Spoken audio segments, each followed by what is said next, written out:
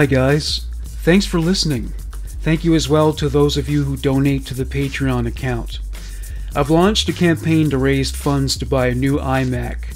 My current computer has been in use for over eight years, and it is affecting my ability to create new content.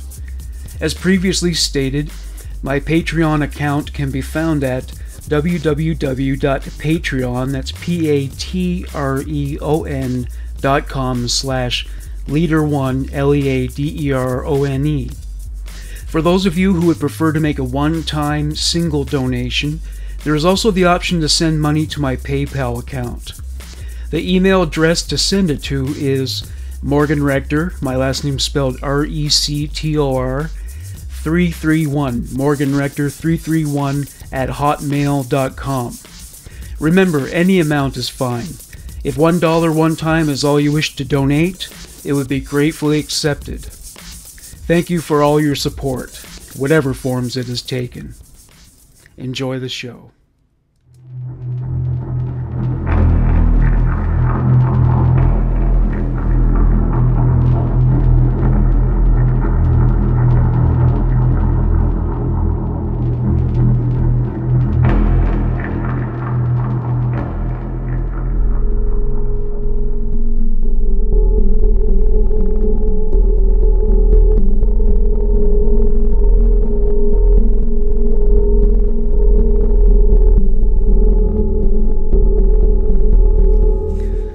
Welcome to Human Monsters. This is the first installment of a new series called Women Who Kill. In this episode, I profile Australian murderer Katherine Knight. Katherine Mary Knight was born on October 24, 1955, in Tenterfield, New South Wales, Australia. She grew up in Aberdeen, her parents were Jack and Barbara Roughan. The domestic environment of her childhood was aberrant and dysfunctional. Katherine was the product of an affair Barbara had with Ken Knight, who was Jack's friend and co-worker. The town they lived in was very conservative, and the affair became a major scandal. The shame and condemnation directed at the family from the community became more than they could bear. They moved to a town called Moree. Jack and Barbara had four sons. The two eldest lived with Jack, while the younger boys were raised by their aunt in Sydney.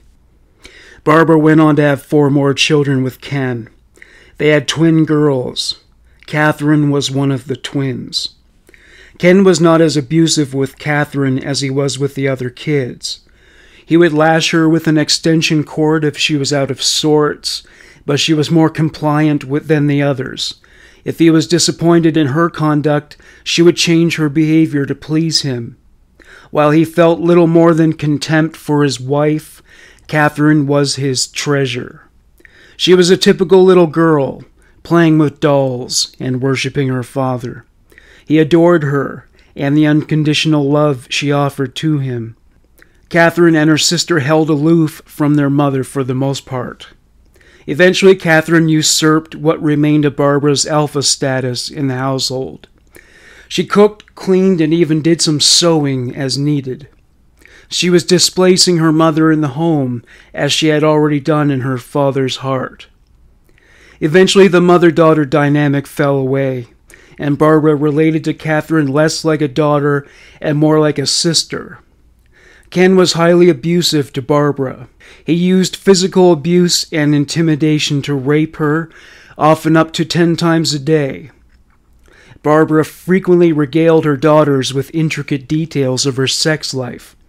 She told the girls that she hated both men and sex. Ironically, years later, when Katherine complained to Barbara that one of her boyfriends wanted her to engage in a sex act in which she did not wish to participate, Barbara told her to, quote, put up with it and stop complaining. Jack died in 1959. The two boys who lived with him moved in with Barbara and Ken. The chemistry of this blended family did not prove to be missable. As if the stress of losing her father wasn't bad enough, The presence of her brothers infused the atmosphere of their household with added tension. The boys did not respect Barbara and conveyed that sentiment openly. They regarded her as a whore. This was born of the resentment they harbored toward her for abandoning them in Aberdeen. They appeared to be pleased by how poorly she was treated. It was also because Barbara wasn't respected by anybody else in the household. The lunatics controlled the asylum. Katherine's brothers were blacklisted from every youth oriented social event in town. They saw females as playthings to be abused at their whim. After a few incidents of molestation, they were blackballed and ostracized by the community. Having been denied access to girls outside the home, their crowded domestic milieu was seen by them as providing its own carnal opportunities. Katherine's sister Joy was spared because she was a tomboy and thereby considered less attractive. Katherine was far more feminine, so they singled her out for sexual abuse. From the ages of 4 and 14, Katherine was sexually assaulted on a regular basis. Each incident was worse than the last. She was groomed at first with friendly casual touching, cuddling, and puppy love kisses. This graduated into games where the prizes were Katherine's clothing and dignity. Defeat in these contests was usually assured for Katherine. When the two younger boys entered puberty, they began to join in. Katherine became a plaything for juvenile rapists. Naturally, this became a stressful state of affairs for Katherine. One day she went to her mother for advice about sexual matters. She said, What do you say if you don't want to do those things? Her mother's response could not have possibly been less appropriate.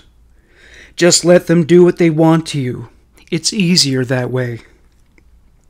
Katherine never disclosed to outsiders the tortures to which her brothers were subjecting her.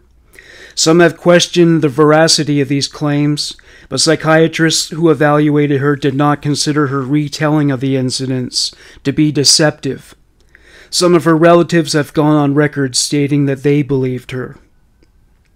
Katherine sought solace from her domestic hell with her participation in her relationship with her uncle Oscar. He was a champion horseman and well known for his work in New South Wales. When he retired from racing, he set up a horse farm where he cared for horses that were retired, abandoned, abused, and injured. Katherine loved animals, and she was eager to assist Oscar in his work. He was the positive paternal figure she lacked for years. Unfortunately, Oscar had a history of depression and committed suicide in 1969. Oscar's stables were the only place on earth where she felt protected, valued, and safe. Now she didn't even have that, and the sexual abuse at home left her at a breaking point. She just could not take it any more. During this period, one of her brothers tried to feel her up, as he had often done. His timing was way off. She punched him in the face so hard she nearly broke his jaw. She threatened to castrate him if he ever molested her again. This was a pivotal moment in the life of Katherine Knight. She was stronger than she had ever been. Her brother told the other boys what happened. When they approached her about it, she was in a cheerful mood, so they dismissed what the fourth brother told them. They assumed it was a misunderstanding, since her historical response to the abuse was compliance. They were mistaken. Over the next few months, each one of them would get fresh with Katherine, and she would inflict painful injuries on them, usually superficial stab wounds. When asked about them, they would say they had some kind of mishap in the kitchen. She gave one of them a black eye, which he blamed on roughhousing with his brothers. They could not bring themselves to admit that a girl had unleashed such fury. They were even more reluctant to confess to the behavior that set her off. Barbara's relations with her extended family had been alternately cool and troubled throughout the years. However, throughout a period when she communicated with them on a regular basis, those relationships were mended. She eventually decided it was safe to move back to Aberdeen. Enough time had elapsed for the locals to either forget that scandal had occurred or it was simply old news. Either way, Katherine, her mother, and her siblings moved back to Aberdeen. Following the family's return to Aberdeen, Katherine experienced a considerable amount of bullying. She was not prepared to tolerate it, however. Whether the abuse was verbal or physical, she would dish out punches, kicks, and lashings of cutting remarks. Those just represented the most simplified of her tactics. A girl tried to trip her as she boarded the school bus. Katherine retaliated by cutting off the girl's ponytail with scissors. A boy who commented on her budding breasts had his teeth smashed into the back of the seat in front of him. These kinds of incidents were baked into her life as long as she attended school in Aberdeen, especially when she was on the school bus. She was confronted about it by teachers, but she was so polite, cheerful, and charming toward them that they could not do the math that added up to the battle axe on the bus. The silver lining was that Katherine's reputation as someone who was not to be fucked with became an insurance policy against the victimhood by which a pacifist would have been damaged. Her academic performance was stellar. She rose to the top of her class. Historically, Katherine's tendency toward violence was utilized in self defense. However, she eventually elevated herself in the school's interpersonal hierarchy by abusing those at the lower echelons of the pecking order. She regularly terrorized the younger children. She carried a concealed knife and used it. She once cut a student who talked back to her. There was another occasion when she stabbed a young boy and left him bleeding on the floor. When confronted about these incidents, she was like the character Alex DeLarge in A Clockwork Orange, an innocent seeming girl with a sunny disposition in the company of adults. She was solicitous enough toward adults that they could not believe that she was so dangerous. That all changed one day when she received a failing grade. The teacher could tell she was in a foul mood. He assumed she was menstruating. He tried to be understanding. He said to her, Kathy, you all right, love? She wouldn't look at him at first. Whatever the cause of her turmoil or frustration, she was so worked up she was fidgeting. The teacher said, Kathy, you weren't saying much today. Is something the matter? Finally, she looked at him. She snapped at him, saying, curtly, Is something the matter? What do you think? She threw some loose papers at his face. She went on, Is something the matter? You're meant to be on my side. You're meant to help me. Why'd you fail me, eh? You've been leading me along all this time, making me think you're on my side when really you just want to spit on me like those other pigs. She leapt from her seat. Anticipating an attack, he stepped backward. He put his hands up as his only available defense. He said to her, Calm down, Kathy. It is just one test. You'll have plenty of chances to make up for. Katherine said, Don't you tell me to calm down. You're just like the others. You never cared about me. The teacher was backing away. She advanced toward him. He said, Kathy, it was just one test. It doesn't matter. She said, You don't matter, you cunt faced son of a whore. He was aware of Katherine's reputation with its history of violence. He never even considered that he would become one of the victims. He said, Now steady on. You can't talk to me like that. She said, Fuck you. She drew her arm back, and he saw the first glimmer of her knife. He said, Kathy, no. She tried to stab him in his stomach. He sidestepped her. They engaged in a dance of death, her pursuing him across the classroom, keen to plunge her blade in his flesh. He backed into a desk. He ran out of space to flee. She slashed a superficial cut in his clothing. She made no contact with skin, but it was clear that she was not fucking around. He said, Kathy, stop! He tried to grab her wrist. She nearly sliced off his fingertips. She was possessed by homicidal rage. Her eyes were glazed over. This was a Katherine Knight to whom he had never been introduced. She was possessed. She was so consumed by rage, she was incognizant of the drool that was sliding off her lips. She couldn't even hear the things he was saying. It was as if she emerged from an alternate reality where the customs and morality of the real world were exotic or poorly understood. When a moment of clarity arrived, Katherine finally realized what she was doing. She would not have stopped slashing at him until he bled himself dry. Left with no other choice, the teacher took an opportunity to defend himself. He punched Katherine underneath her chin. He hit her so hard he pushed her off her feet. She fell on her back. It knocked the wind out of her. As soon as she gathered breath back into her lungs, she began to cry hysterically. Other staff came running to have a look at what the commotion was about. Despite nearly being murdered by her, the teacher was remorseful. He said to Katherine, Oh God, Kathy, I'm so sorry. Are you all right? He knelt beside her. The teacher was blamed for this incident. He was suspended. Katherine played the victim card effectively. However, after an investigation, the history of her violent behavior came to light. The teacher was reinstated, complete with an apologia and back pay. Katherine was suspended, but was allowed back with a proviso that she adhere to the conditions of a probationary period.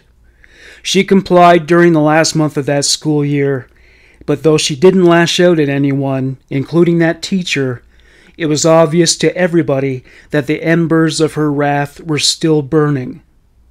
She dropped out of secondary school at the age of 15. Katherine Knight's mental instability was examined closely by mental health professionals. They felt she fit the criteria for borderline personality disorder. With this condition, the patient lacks the ability to regulate their moods and emotions. When they get angry, they are quite capable of being physically violent, with some even committing murder. The one wholeness argument was her choice to remain armed with a knife, even when she didn't anticipate a threat or a show of disrespect. Another thing that cast doubt on this diagnosis was that she didn't respond to pharmacological treatment. It was time for young Katherine to make herself useful. She had to get a job. A butcher at the Aberdeen slaughterhouse. Her father had worked there, and she wanted to follow in his footsteps. She had watched her father go to work on flesh with a highly skilled hand. She was mesmerized by it all. She approached the shift manager to ask for a job. She was willing to do anything. He told her it was not the kind of work that was suited to a woman. She was outraged, but with her father nearby, she decided to keep a lid on her anger. She was determined to live her life on the cutting edge, so to speak. With meat cutting severed as an option, she went to a clothing manufacturer. She already had years of experience as a seamstress. She had made most of her clothes. She became a model employee and earned enough money to move out of her parents' home and get her own apartment. She enjoyed the freedom that came along with this arrangement. Still, the rejection from the slaughterhouse was a wound that never completely healed. She would befriend the slaughterhouse workers, drinking with them after her shift ended. Katherine's reputation among the butchers wasn't strikingly different from that of her high school days. She was as violent and foul mouthed as always. The man who turned her down for the job realized that she wasn't nearly as different from the men in the shop as he had previously assumed. Not only could she fight and curse with the best of them, but her work ethic, expertise with a knife, and ability to work with her hands made its way to the management of a slaughterhouse. The married men were impressed. The single men didn't see what all the hype was about at first, but then they discovered her dexterity in the bedroom, and that perception changed. She was so aggressive in her pursuit of these men, they found it off putting, and in some cases, intimidating. She applied for a job at the slaughterhouse. This time, they couldn't resist. In 1971, she retired from the garment industry. Katherine Knight the Butcher was officially born. Katherine was a natural in this line of work. She worked in several departments and excelled at every task. She was continually upgraded to new levels of responsibility. Such was the faith her employers had in her. She got to know every man she worked with on a personal level. Some of them were still not sold on the idea of a female butcher. When they offended her with sexist words or actions, she did not take it sitting down. The first time someone raised their voice to her, it set the agenda for her relations with male coworkers. She quietly and diplomatically suggested that they settle their disagreement with their quote, fucking knives, end quote. Katherine Knight was more effective as a butcher than she ever would have been as a human resources manager. This was not the first time she suggested this method of conflict resolution. After a while, she could not count all the men among her friends, but even the ones who hated her did not cross her again. Eventually, her relations with the other men became more relaxed, and feeling more in sync with them, she would join in with their conversations. She could swear with the best of them. It was a man's world, but she proved that she could fight her way in and out of it. She earned their respect. She was promoted to the task that is considered to be the most complicated and rigorous of a butcher's work deboning. Her father established himself based on his deboning work, and she dreamed of doing the same. She even worked alongside him when their shifts allowed it. She worked tirelessly to advance to this level. He wasn't exactly thrilled that a teenage girl demonstrated the potential to usurp him, but he kept it to himself. Ken drove himself to work harder than ever, and this just inspired Katherine to do the same. This was just fine by the owners of the business. In Katherine's presence, the men worked harder, faster, and with greater efficiency because they just could not allow themselves to be outdone by a girl. Her superiors felt she should be rewarded, though they didn't want to rile her coworkers with a raise or a promotion. She was given a token of their gratitude in the form of a set of personalized knives and a leather bag to carry them in. She used them at work every day. She sharpened them for ten minutes before every shift. She would display them on a hook above her bed as if they were a trophy. They became her prized possessions. After befriending men in all departments, she developed a particularly strong kinship with a man who worked in what was known as the pig room. The old man who slaughtered the pigs did it with gusto. The more humane method of slaughter was to hit them heavily on the head so that they would not be cognizant of their injuries. He was a sadist who enjoyed the torment he inflicted on the pigs. Katherine watched him in action, and she was fascinated. She once watched as he skinned a pig while it was still alive. This came to preoccupy her to the point that she no longer wished to remain a spectator. She shared this man's thirst for blood. She proved to delight in this ritual as much as the old man. She would chase a pig around, cutting it several times to make it suffer as much as possible. Katherine Knight took a shine to a worker named David Kellett. He wasn't a butcher, he drove for the company. The two were different in many ways. He was more passive. She was more physically imposing than him, muscular and six foot tall. He preferred to remain on peaceful terms with everyone and stay out of trouble as much as possible.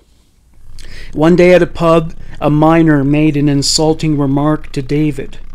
Katherine's face turned red. This was the first sign of a coming storm as far as her capacity for untrammeled rage was concerned. She punched the miner repeatedly as hard as she could. By the time she was done hitting him, her knuckles were bleeding. Some of the man's teeth littered the floorboards.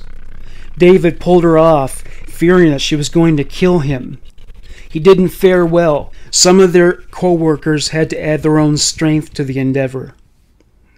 Most of the patrons put it down to excessive alcohol intake. This was not so. She never drank alcohol, only lemonade. She saw how booze weakened others and impaired their judgment. She wasn't prepared to lower her guard for a second. Katherine and David were left with no other option for a watering hole, but they were not prepared to part ways just yet. They spent some quality time at a hotel. He couldn't help but feel moved by her overture. How many women would punch out a man to win the heart of another? They became an item. Katherine wasn't just his lover and bodyguard. After once subsisting on discarded scraps of meat and the slaughterhouse, Katherine served him meals fit for a king. She mended his clothing when needed, and she was a savage in the bedroom. He had never been with a tigress like Katherine Knight. Their sexual appetites were not commensurate. She never found satisfaction. But David was never disappointed. She wanted to convey to him that she was devoted, and she pulled out all the stops.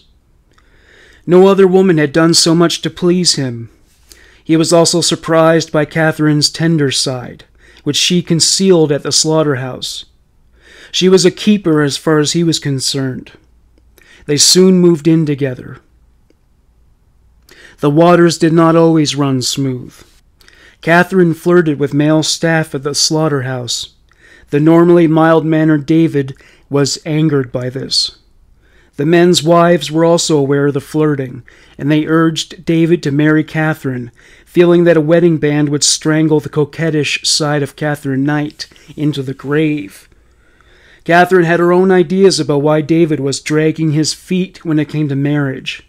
She assumed his agenda was to use her for sex until the thrill was gone and then he would depart. This she could not abide. She began to subtly insinuate that a marriage proposal would not go amiss. When this didn't work, she demanded it. She insisted that he prove his love for her by tying the slip knot. David's reluctance to propose had more to do with his belief that Katherine wasn't interested. Now that he knew she was game, he made his move. He decided he could do a lot worse for a wife than Katherine Knight. When Catherine brought David to meet his parents, Barbara cornered David in the kitchen when he went in to collect beers for himself and Ken. She said to David, You want to marry her, do you? He nodded. She said, You sure about that? You know she's got a screw loose? David laughed nervously. He was astonished that her mother described her in those terms. He said, I know she's got a little temper, yeah. She said, Nah, you don't. Don't understand at all, do you? As David made his way slowly but irrevocably out of the kitchen, Barbara issued a warning. You'd better watch that one, or she'll fucking kill you stir her up the wrong way, or do the wrong thing, and you're fucked. Don't ever think of playing up on her. She'll fucking kill you. David chuckled a little. He said to Barbara, Don't you worry, I'll treat her well. Barbara said, I'm not worried. Ain't me she'll kill if it goes tits up. David was skeptical. He assumed Barbara was speaking hyperbolically. Their wedding was soaked in booze, with all attendees drinking heavily. Katherine's in laws were insulting to her, but she didn't allow it to get to her on what she considered to be an otherwise perfect day. She was especially keen on consummating their union back at the apartment. She tore his clothes off as they made their way through the apartment. They forgot to lock the front door. They had sex three times. After the third time, he was exhausted. He passed out. Katherine wasn't finished. She was left alone in silence with her passion. David began to snore. Her lust boiled into rage. She slapped and punched him, but it was no use. He was so inebriated he couldn't be roused. She reached a boiling point. She got on top of him and wrapped her hands around his throat. She began to strangle him. She nearly killed him, but he woke before brain damage set in. He broke free from her grip. He staggered out of the room. He gasped air back into his lungs. David noticed several marks on his body scratches, bruises. All he could remember was that they were having sex, and then he woke with her hands around his throat. He said, Kathy, what the hell? She advanced to him from the shadows. She kissed him and said, Thought you'd fallen asleep on me there. Ready to go again? David stepped backward. He said, You choked me? She said, What? Just a little. Don't be a pansy. You weren't waking up. She pushed her hands into his chest hair. He pulled away. He said, So you thought you'd just choke me, you mad bitch? She said, don't you talk to your wife like that, you ugly little bastard. You married me. That means you're mine. She pulled him closer. So you get your lazy drunken arse back in that bedroom and fuck. You hear me? He grabbed her wrists and pried himself free. He said, You're nuts. You've got a screw loose. The old bag tried to warn me, but I didn't listen. Katherine was too distracted by the content of her own thoughts to keep track of what David was talking about. She said, Daddy did it five times. We've got to do it more. David said, What? What the hell are you talking about? Katherine said, On their wedding night. My daddy did it with Barb five times. You love me, don't you? You love me more than that, right? We've got to fuck again. Two more times. At least two more. We've got to.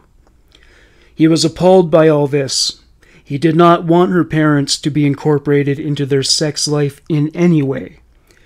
Suddenly, Katherine snapped out of her delirium. She said, David, don't worry about all that. It is just a little fight. Everybody has a little fight once they're married. Come on now. Come back to bed. I'll kiss it all better. David said, all right, love, you head to bed. I'll just nip to the loo and meet you there, yeah? Katherine said, Don't be too long, or I'll start without you. The bathroom was the only door of the apartment's interior that had a lock. He locked the door and went to sleep in the bathtub. Just under ten minutes later, Katherine was pounding on the door. David was too drunk to care, and he went to sleep. The marriage evened out, with Katherine doing all she could to please David. The only time when her temper got the best of her, the only time when her temper got the best of her was when she suspected him of infidelity, which could be caused by anything, like him arriving so much as a minute late home from work. Once during her first pregnancy, David put on a new shirt before going out to the pub with his friends. She assumed he was getting dressed up for a rendezvous with a woman. As revenge, Katherine put all his other clothes in the bathtub, doused them with lighter fluid, and set them on fire. The fire exceeded her expectations. She was forced to flee the building so that the Aberdeen Fire Department could extinguish it. She brought shame upon them both, and they relocated. David stayed away from the pubs, fearing the humiliation of being questioned about the fire. At the new address, Katherine was even more paranoid about David's potential to be unfaithful than ever. One night she struck him in the face with a hot clothing iron. It burned him so deeply it nearly made contact with bone. He sought refuge in the bathroom, locking the door behind him. Katherine pounded the door with the iron, leaving burn marks in the wood. Without warning, her rage disappeared, and she apologized profusely. She vowed that she would never do it again, and that she only got upset because she missed him. He accepted her apology and the gauze she applied to his face. The scar she left behind would remain with him for the rest of his life. On another occasion, when he was three minutes late getting home, she assaulted him with a skillet so hard she knocked him out, and he was seeing stars. His brain was swollen for a few days until the cracks in his skull began to close. He told police he was attacked by an intruder. Katherine pampered him with care and affection. He could not tell the truth about what happened because at the time, rural Australia was a place where gender roles were traditional, and he would have been laughed out of town. Meanwhile, Katherine's superiors at the slaughterhouse put her on leave due to her burgeoning pregnancy. Being alone for days on end was not good for her mental health. It only gave her more time to stew over her suspicions that David was unfaithful.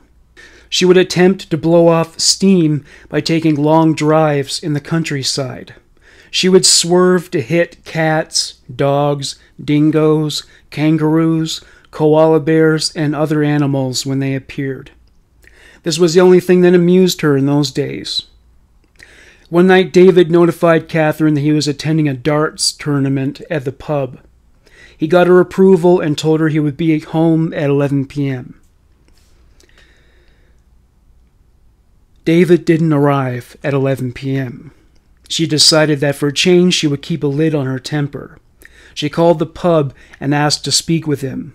She said, I thought you were coming home. David said, I am, I am. The tourney is just running a bit long, is all. Shouldn't be more than an hour. But you said you'd be back at 11. To save face in front of his friends, David said, Well, now I'm saying I won't. When David did finally return home, he was ready for anything. Because of this, he was able to duck out of the way when she swung at him with a frying pan. She wasn't about to give up, and David fled the apartment. He slept on a friend's couch. Katherine's fear of infidelity became a self fulfilling prophecy. David became so estranged from Katherine due to her abusive behavior that he sought solace in the arms of another woman. He got the woman pregnant in the process. The day Katherine went into labor with her daughter Melissa, David tendered his resignation at the slaughterhouse and got the fuck out of Dodge. Well, Aberdeen. He didn't look back. Katherine's ability to bond with her child was compromised by the rage she felt toward David for failing to appear and support her. She began to take out her anger on the baby, cursing and yelling at her whenever she fussed about something. She would bump the pram against the sides of buildings as she took her out for walks. At one point, police were called in to intervene. Several people observed Katherine's conduct and were concerned about the child's safety. When police approached her about the matter, she broke down into tears. She shifted all blame toward David for abandoning her and her daughter. She was taken to a hospital that was equipped with mental health professionals. What the staff found was that she may have been struggling with postpartum depression. They also found that she forgot how to read and write since dropping out of school. She underwent an IQ test. She scored in the low 80s.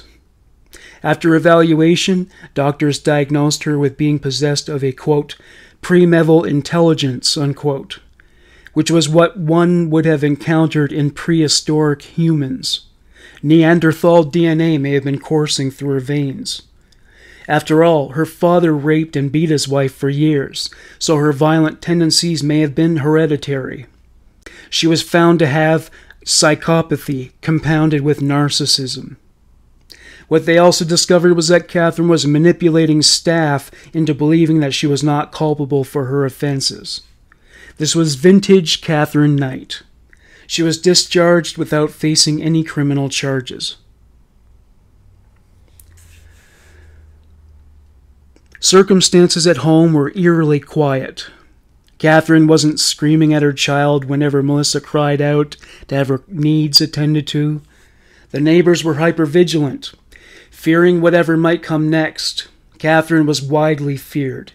Everybody knew she was capable of anything up to and including murder. Speaking of which, a homeless man known as Old Ted was walking along train tracks in search of mushrooms that grew alongside them. It would soon be time for him to step off the tracks as he felt the telltale vibrations under his feet of an approaching train. He heard the piercing wail of a baby nearby. It didn't come from a pram. It didn't come from within a house or apartment. He didn't see a mother nearby. He stumbled upon baby Melissa. She was laid out on the tracks. As the train drew near, her head began to shake in congress with the rail. Old Ted picked her up and dashed from the tracks, effectively saving her from the train and the mother who left her in front of it. He found her just in time. The train nipped him so closely he could feel it on the back of his legs. Meanwhile, Katherine was on a rampage. She stormed through the streets in a rage, her face flushed burgundy red. Everybody knew what this portended, and they got out of her way, though they had never seen her this angry. She was huffing and puffing. She was growling like a rabid wolf. She went to a general goods store and purchased a wood axe. She took to the streets with the axe in hand. The police were notified. It was no wonder Katherine Knight was dangerous with an axe in her hand on the best of her days. She was swinging the axe in a figure eight as she walked down the street. She was ready to kill anybody who fucked with her. Even the police didn't approach. After all, it is not illegal to possess an axe, and she hadn't actually committed a crime. They also knew that she could take on any man, especially with an axe. Suddenly, the cry of a baby cut into the atmosphere. Old Ted appeared with Melissa in his hands. When Katherine saw Melissa, she dropped the axe unwittingly. The police didn't know what she had in store for Melissa, so they moved in and restrained her. She cried out as she saw the baby in old Ted's arms. A gang of police had to pile on top of her to keep her subdued. She was taken back to hospital for more mental health treatment. Melissa was placed in Ken and Barbara's care. Katherine was forced to take medication in hopes that it would effectively regulate her moods. Katherine would not regain custody of Melissa until she was deemed well enough. The Macbeth family were well known to Katherine Knight and David Kellett. They helped David receive medical treatment after he was injured by Katherine. They were sympathetic to Katherine, given that she was a mother and wife abandoned and left to her own devices, limited as they were. Margaret Macbeth, 16 years old, heard a loud banging on her back door. It was Katherine Knight. She assumed it must be another emergency. Katherine was in tears. She said, My baby is sick and I don't have my car. I need to get to her. Will you take me? Please? Margaret said, Of course. Let me grab the keys and my brother. Katherine said, Your brother? Margaret said, I'm babysitting him tonight. Don't worry, he'll come along with no trouble. Just head out to the car. I'll be with you in a second. As Margaret departed from her address, she said to Katherine, Where's your baby? At your parents'? Katherine said, Queensland. We're going to Queensland. Margaret. What? That's a thousand miles away. What's your baby doing there? Katherine. Who gives a fuck about the baby? We're going to get David. His mom lives in Queensland. He'll be back on her apron strings. Him and his whore. They'll both be there with her. I'll see to them all. Margaret was trembling. She knew instinctively, given Katherine's reputation, that this was not an idle threat. She saw a butcher knife resting on Katherine's lap. Margaret. Kathy, I'm not sure I can drive you to Queensland. Is there somebody else who could? Katherine, shut up and drive. Margaret. I've got my little brother in the back. He's got school in the morning. I can't. Katherine took out the knife and cut a line across Margaret's cheek. It was deep enough that Margaret could taste blood. Margaret screamed. She was so disoriented by the attack, she swerved the car into the other lane. Katherine didn't let up. She said, Just shut up and drive, or I'll open you up. You hear me? Margaret couldn't speak. When she did, the wound spread open further and bled down her face. She swallowed torrents of plasma from the gaping gash. Margaret's little brother was screaming. Katherine turned back to him and screamed, Shut up! Shut up! To defuse the situation, Margaret shouted, All right, all right. I'll take you to Queensland, but we need to stop and get petrol, okay? We won't make it on an empty tank. Katherine didn't want to stop, but she also realized there was no way out of it, so she allowed this inconvenience. When Margaret went in the station to pay, she was in a panic. She said to the clerk, Please, you've got to help me. Me and my brother, we've been kidnapped. It's Katherine Knight. She's got a knife. She wants me to drive her to Queensland. She did this to my face. Please, call the police. Please. As Margaret waited for the police to come, her little brother made a move to escape. He was halfway out the door when Katherine grabbed his collar.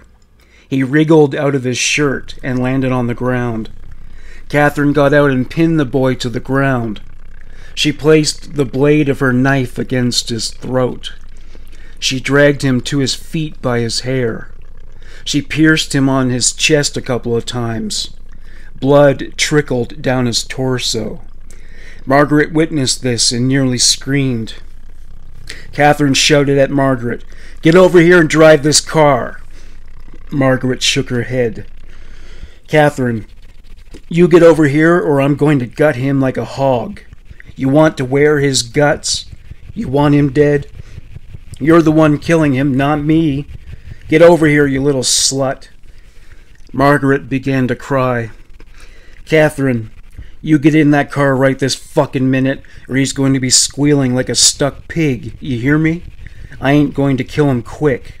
It's going to hurt. You want to watch that? You want to hear that? Whimpering, Margaret squeezed out a negative.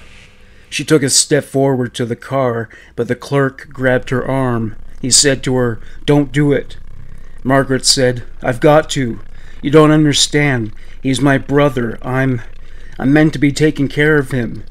The clerk said, If you give her what she wants, she doesn't need him anymore. She'll kill him. You stay away or she'll kill him. The police pulled up. They knew they had to approach Katherine with caution. One of them said, Let's just put that knife down now, eh? We're all friends here, aren't we, Kath? Katherine said, Fuck you and the mother you rode in on. Police, no need for that now, Kath. It's all over now. Just you put that knife down, and we can talk this through. No reason anyone needs to get in any trouble. Katherine, I'll slit his fucking throat. You take a step towards me and you're killing him. Police, nobody is going nowhere, Kath. We're just standing here on a fine summer's evening, having ourselves a conversation. Katherine wasn't smart enough to talk her way out of awkward situations. The blade of her knife was an extension of her tongue.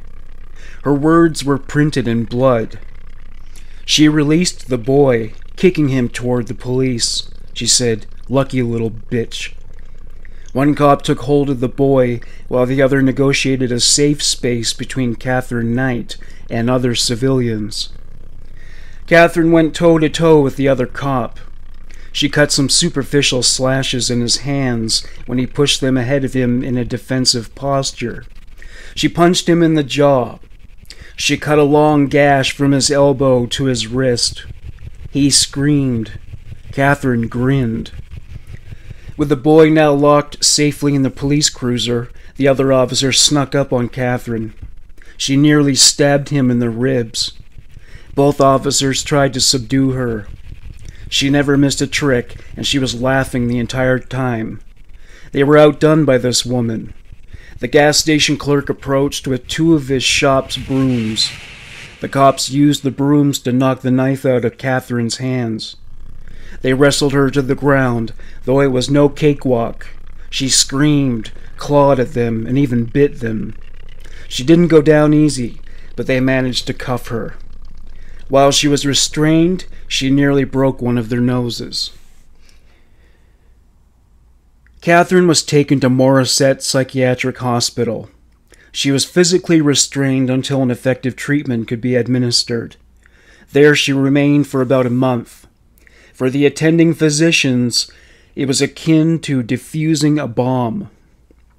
She didn't make it easy for them. She became violent frequently, and they had to sedate her. It was the only recourse that got results.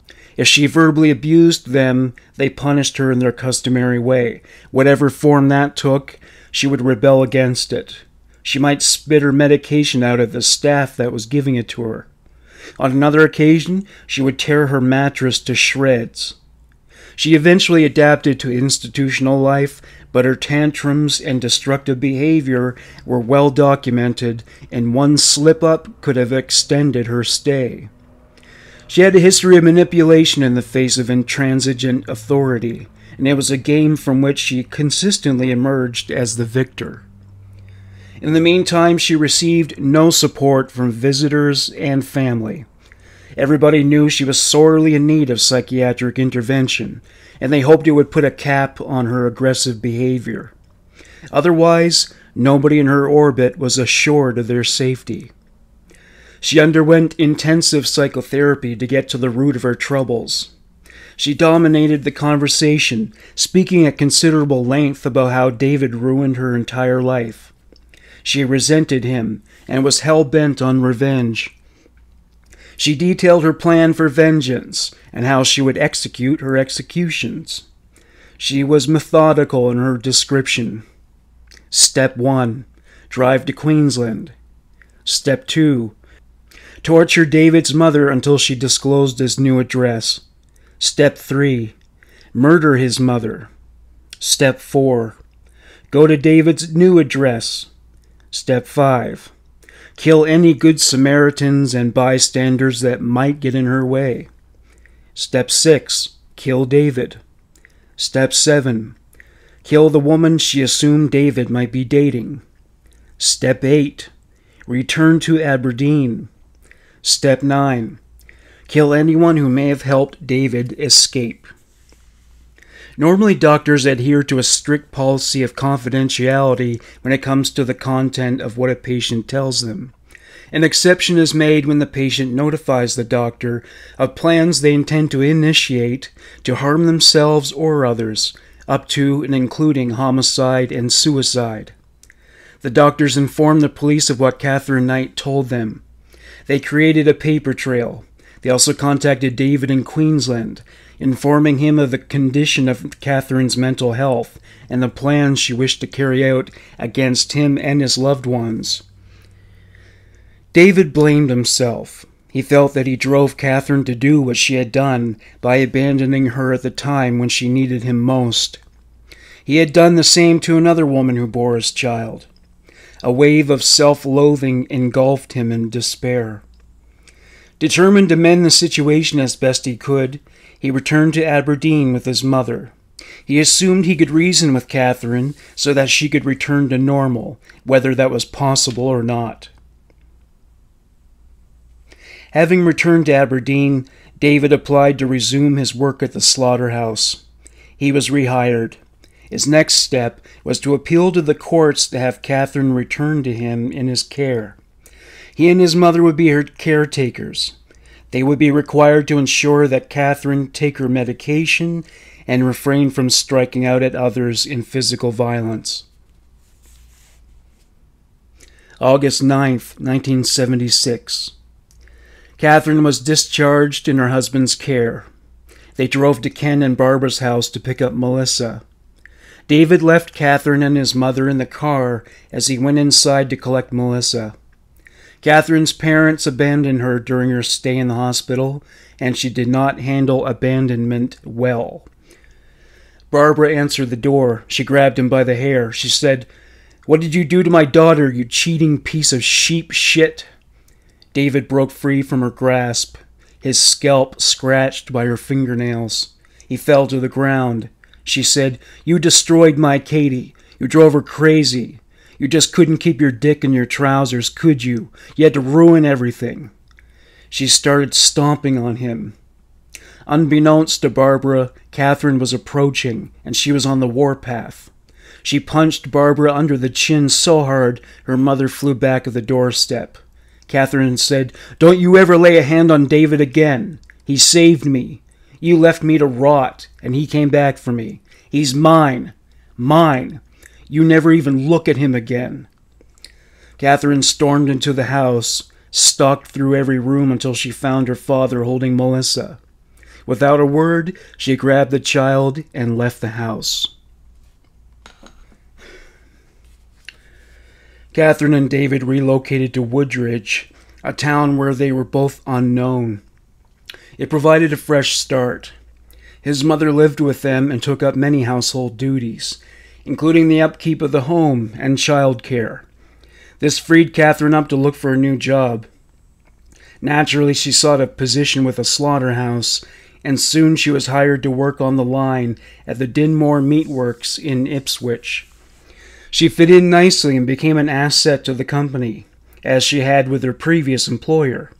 She would spend 10 minutes sharpening her custom made knives before every shift, as she always had. That level of commitment was rare among meat workers. She continued to take her medication as mandated. It brought her pace of work down somewhat, but that did not compromise the quality of her output. She was able to control her infamous temper. If somebody crossed her in the workplace, she was more likely to strike back with verbal abuse instead of with her blade. With her mother in law contributing and the money brought in through Katherine's efforts, there was little on the domestic front to complain about. Nevertheless, she was miserable. The fleeting moments of happiness she experienced came to her while she cut into the flesh of a freshly killed animal. That, or whenever she saw an animal on the road during her commute, she would swerve to hit it. March 6, 1980. The second of Katherine and David's children, Natasha Marie Kellett, was born. This time around, David supported Katherine every step of the way. Katherine now resented her mother in law's presence in her home. She viewed her as more like an obstacle than a support system. Katherine was bored by her life, which became predictable and routine. Even her job brought her no satisfaction. She became distant with David to the point where she was very cold to him. She ignored his mother completely. Unable to live in this situation no further, Katherine decided to move back to Aberdeen. She packed her things, collected the children, and returned to her roots. David was relieved. During her first month in Aberdeen, Katherine and the children stayed with her parents. Shortly after divorcing David, she rented a house in Muswellbrook. She was rehired by Aberdeen Meatworks. It was business as usual. A tragically pivotal moment in Katherine Knight's life occurred two years after her resettlement in Aberdeen.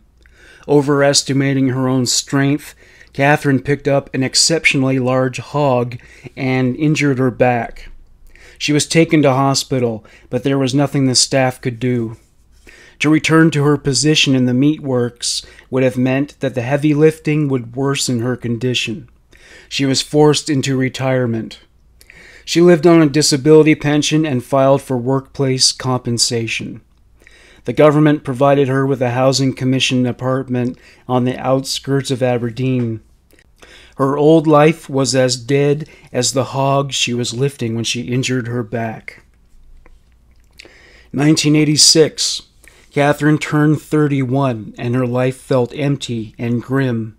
She mostly just had her parents and children for company, but that was hardly satisfactory. And despite warning her eldest daughter about the evils of men, she still felt lonely. At night, Katherine would assign babysitting duties to Melissa so she could go out to the bars. She was fortunate in that there were many men who did not know her and were therefore incognizant of her reputation. She met 38 year old David Saunders, and he was very taken with her. Men who knew her history warned him about her, but he assumed they were jealous or speaking hyperbolically. He only knew the medicated Katherine Knight, so none of that seemed possible. They would fight, and she constantly accused him of infidelity. She would throw him out of her flat on these occasions, and he simply went home. She would show up there a day or two later and apologize. Otherwise, everything was going well. On the one year anniversary of their first meeting, David bought flowers for Katherine. When he arrived at her place, he found she was not in a festive mood. She was intense and irate. She was pacing back and forth. She took the flowers and tossed them aside without really looking at them. She slammed cupboards and chopped vegetables with aggression intermittently. David bought Katherine and the girls a dog. Natasha was especially taken with it, calling it the dingo pup. Katherine felt no affection for the dog whatsoever, even referring to it as David's dog, never accepting it as part of the family. David tried to talk Katherine out of her foul mood, sweet talking and teasing her, but it did not accomplish his objective. Suddenly, Katherine ran out the back door. David followed her, puzzled as to what drew her attention outside all of a sudden. He heard a squealing sound outdoors. To David's horror, Katherine held the dog by the scruff of its neck, level to her eye line. She held a chopping knife in her other hand. She cut a slash in the dog's throat. Blood sprayed out. The dog was cut so deeply David could see its spine amid the blood and gore. The dog's cries turned to gurgling sounds. The sounds died out and it grew silent. Katherine dropped the dog on the ground. It was dead. She turned to David and said, If I ever catch you running around on me, that is what I'll do to you. David was deeply shocked, horrified. Katherine skillfully dropped the knife on the dog in such a way that when it landed, it stood straight up. David backed away. She followed him. He began to panic. When he entered the kitchen, he said, I'd never be unfaithful to you, Kath. You have to believe me. I've never even looked at another woman since you came along. Never. His words made no impact. She grabbed a frying pan and swung at him. He raised his arms to defend against it, but when she hit one of his arms, the bones were fractured. She battered him until he was curled up into the fetal position on the floor. She was screaming bloody murder as she bludgeoned him with the skillet. When she exhausted herself of energy, she dropped the pan and knelt beside him. She said, Why did you do it, David? Why would you do that to me and our family? Why? There was no point in asking at that juncture. She had rendered him unconscious. David spent the next week at his own apartment. He wouldn't answer the phone. He was determined to flush that psycho bitch out of his life. As a last resort, she ambushed him in front of his apartment's door. He was terrified by the sight of her. This was not the same Katherine Knight, however. She cried. She got down on her knees and begged for his forgiveness. Against his better judgment, he did. He believed people deserved second chances. So he brought her inside. They engaged in the madness and intensity of Katherine Knight's own brand of makeup sex. A new honeymoon phase had begun. That honeymoon phase resulted in a new pregnancy. David was looking forward to starting a family of his own, so much so that he moved out of his apartment and put down a deposit on a house. Katherine loved living in a home of her own. She decorated it enthusiastically. Her sensibility in interior decor would not have surprised anybody who knew her well. Animal pelts, taxidermy, skulls, rusted animal traps, leather jackets, machetes, rakes, boots, pitchforks, lots and lots and lots of knives. 1988. Katherine and David's daughter, Sarah, was born. Katherine fell into a pit of postpartum despair that was not unlike that which she experienced after giving birth to Melissa. 1989. Katherine and David's relationship had deteriorated rapidly. She seldom spoke to David by this point. It was this year when she finally received her workplace compensation money. She used it to pay off the rest of the mortgage and turfed David out. As she grew cold toward him, David became the one who was beset with anger. He was especially incensed that she was neglecting her domestic duties. It came to a head one day when he returned home from work to find that all his clothes were dirty. He summoned her and said, Will you do something about this? It's been sitting there all week whilst you've done nothing. Katherine left the room and returned with a pair of scissors. She proceeded to cut every article of clothing one by one. David attempted to save a pair of jeans, but just as he was reaching out for them, he became aware of a pain in his stomach.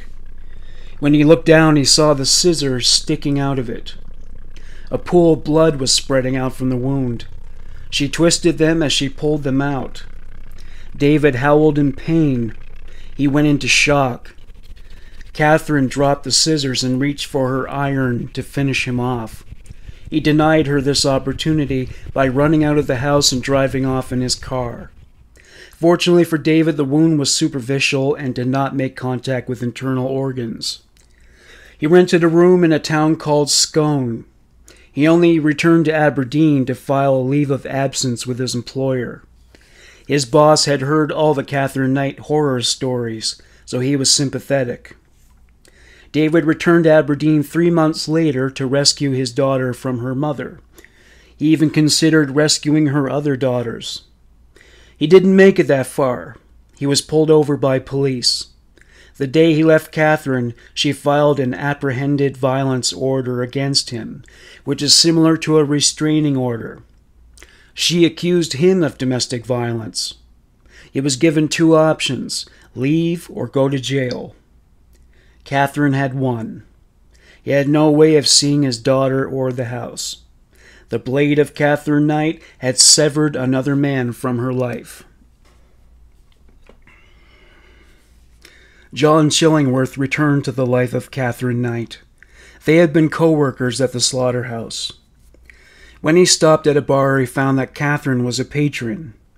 Before long, they flirted, and that led to sex at her place that evening and onward it went. When Katherine went on a rampage provoked by delusions of infidelity, John fought back. The sex and rage cycle continued, and when Katherine became pregnant by him, it didn't let up. She was constantly accusing him of cheating, often on an hourly basis. He would often retreat back to his own apartment.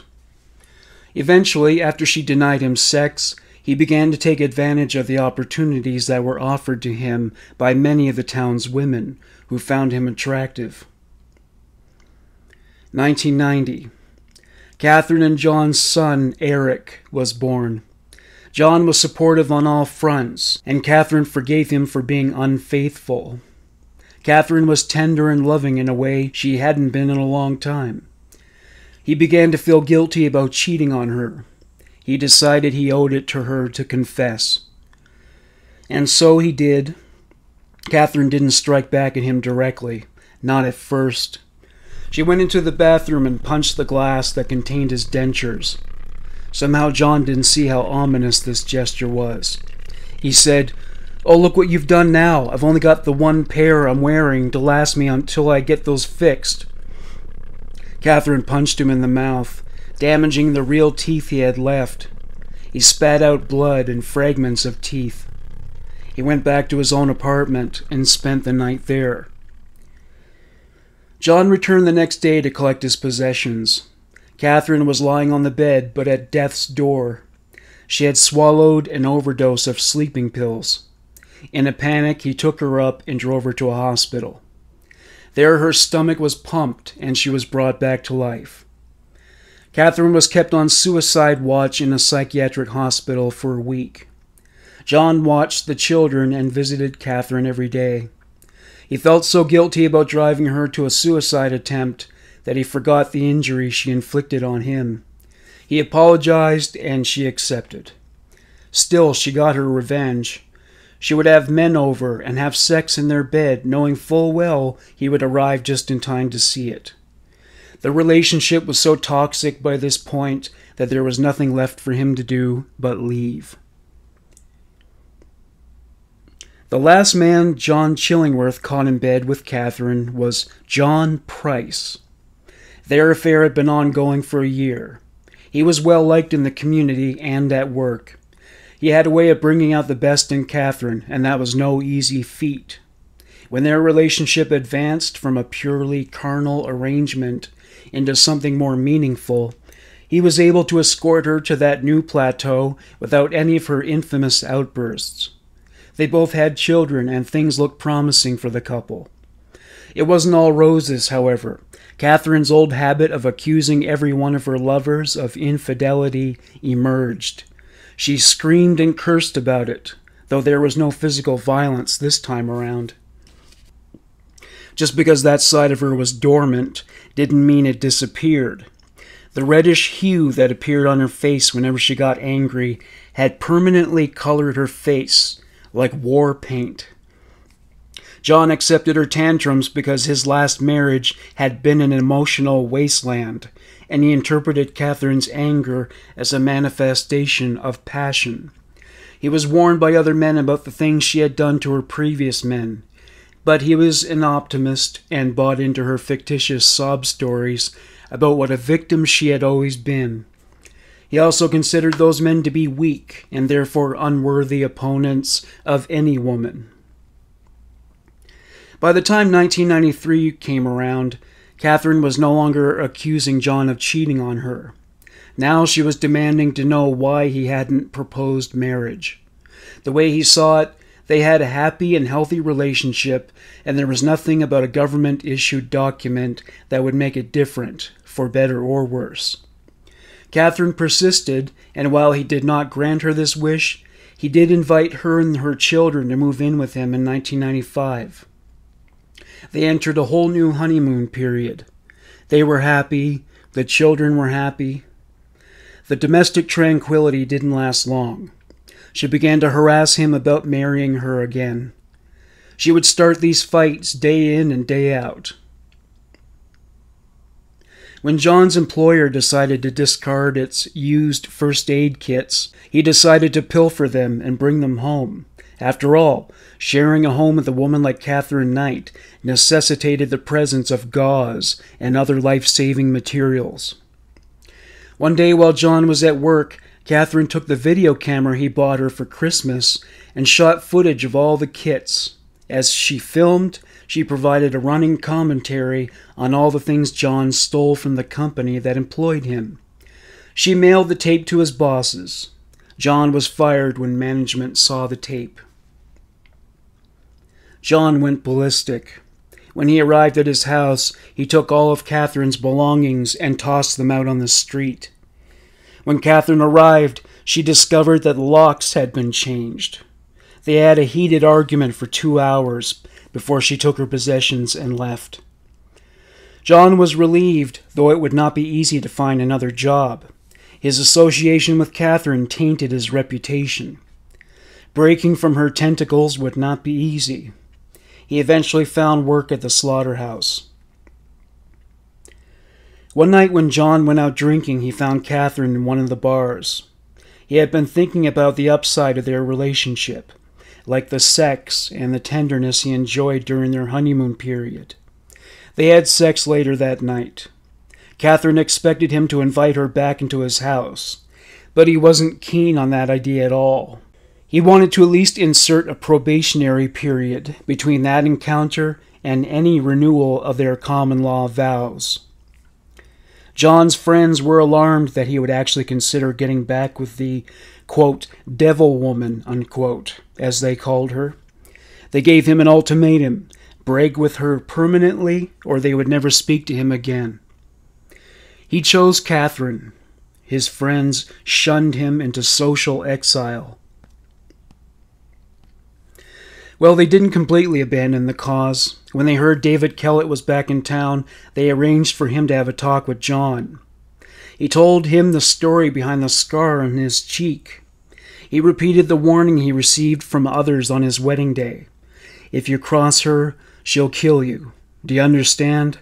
This isn't a joke. She will kill you. David's warnings did not make the intended impact.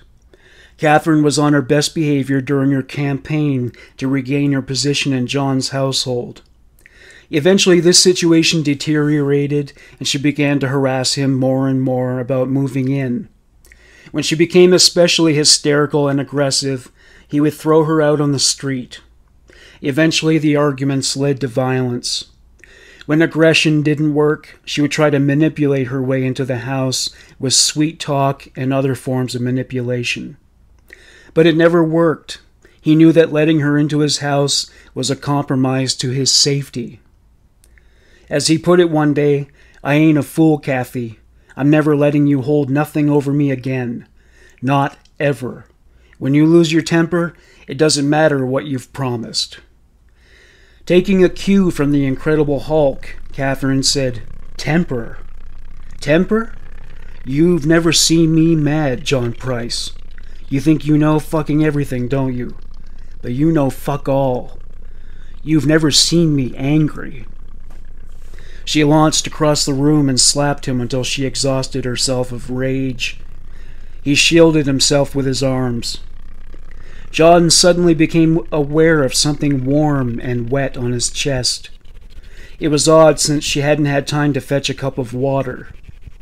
He looked down and discovered that a knife was protruding from his chest.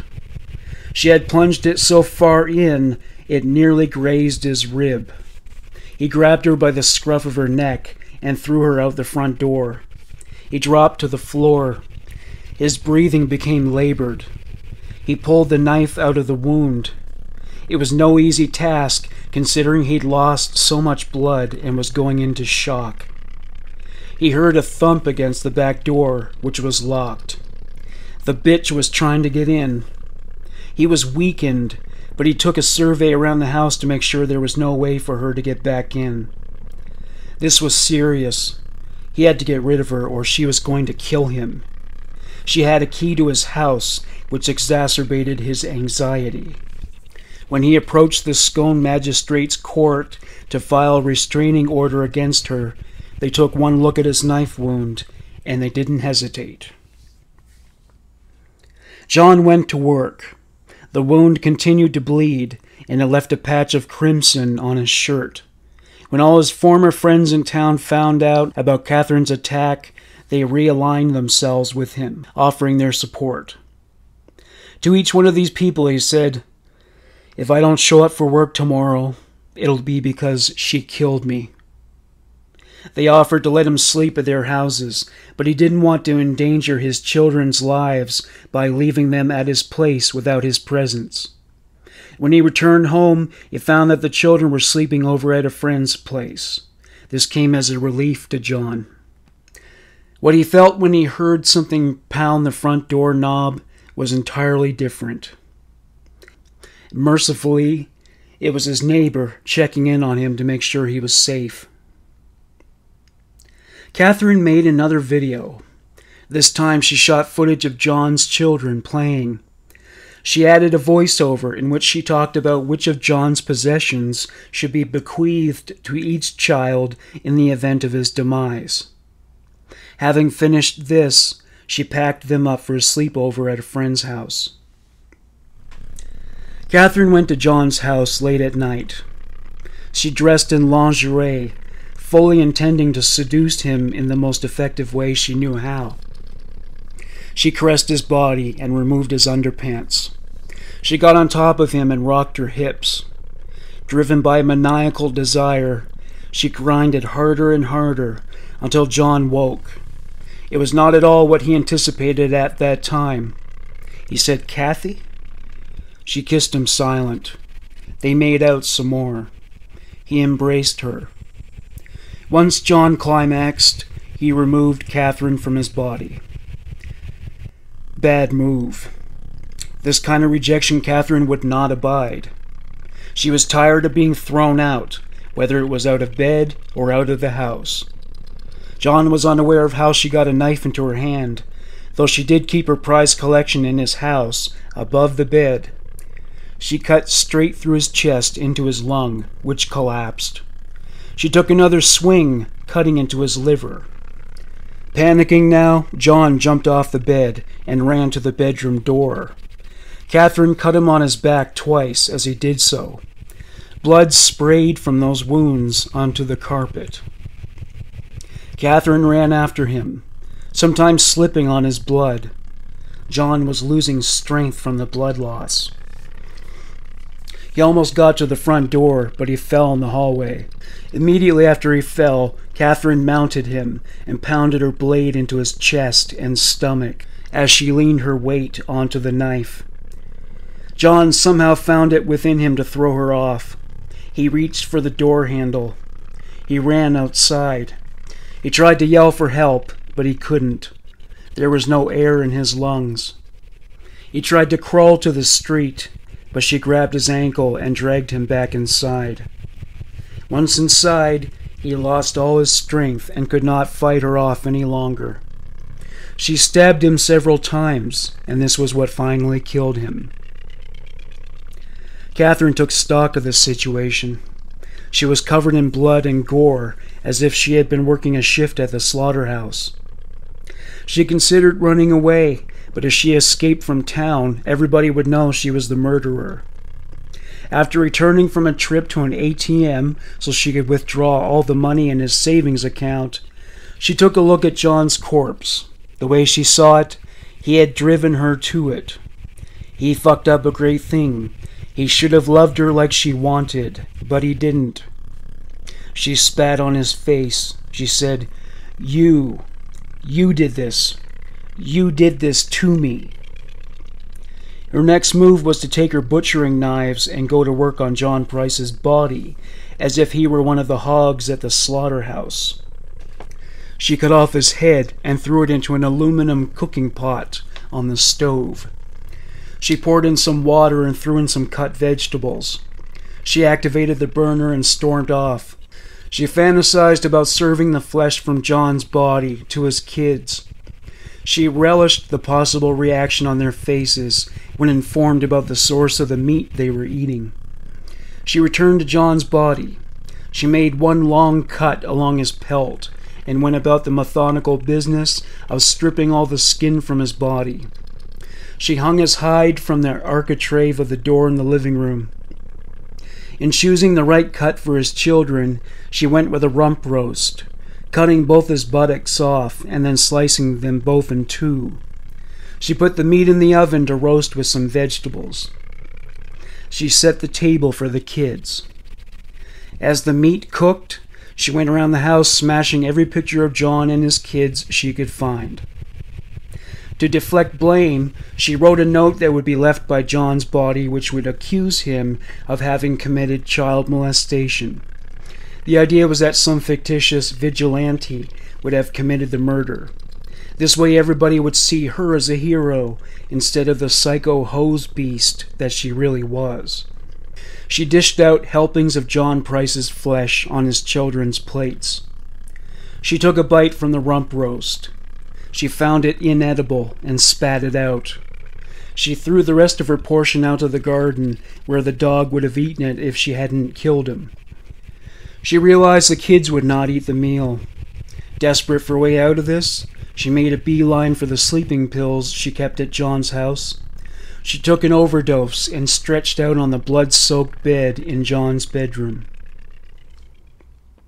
The next morning, one of John's coworkers was sent to his home to check on him. He saw a bloody handprint by the front door. A long trail of dried blood indicated that a body had been dragged indoors. He called the police. Katherine was found alive, though she was in a coma. When they found John Price's scattered remains throughout the house, they were so disturbed it turned many of them vegetarian for years. Others left the force. Some even committed suicide. They took the temperature of the broth in which John's boiled head was still stewing. This was the only way to determine an approximate time of death. John Price's cadaver was examined by a coroner. 37 stab wounds were documented. The incisions made along his body were so precise that the pathologist was able to sew John's skin back over his body. Katherine Knight woke two days later. Police questioned her almost immediately after. She claimed she had no memory of what happened the night of John's death. To draw away any suspicion of her culpability, she went on at length about how much she loved John. She was apparently trying to convince the police that she was either innocent or insane. Police questioned citizens of Aberdeen to ascertain if they had any insider knowledge about what had happened. What they got was a legion of character witnesses.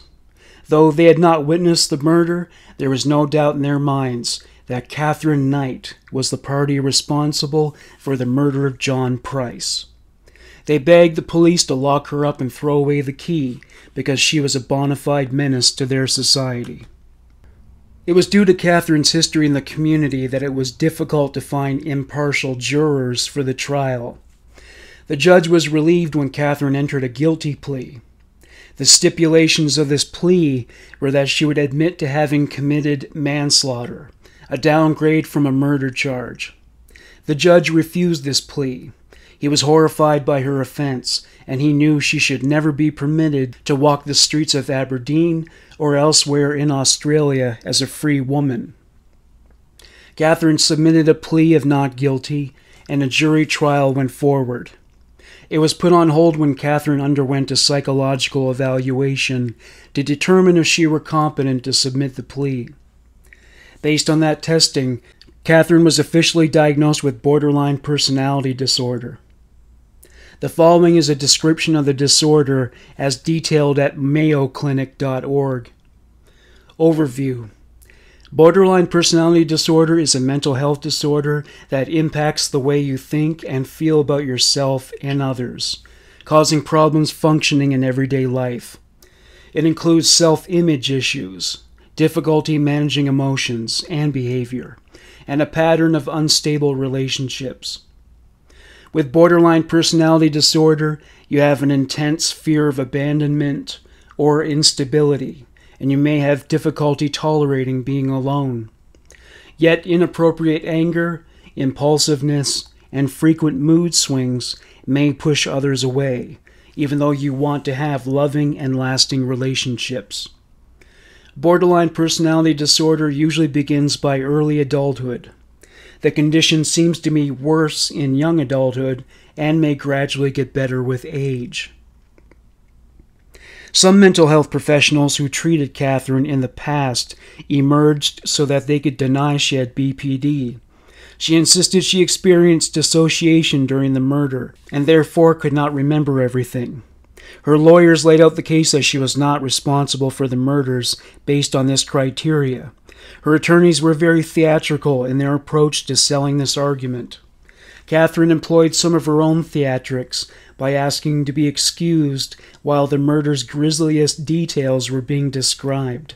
When the judge did not allow her to be excused, she threw a fit. It only ended when she was sedated.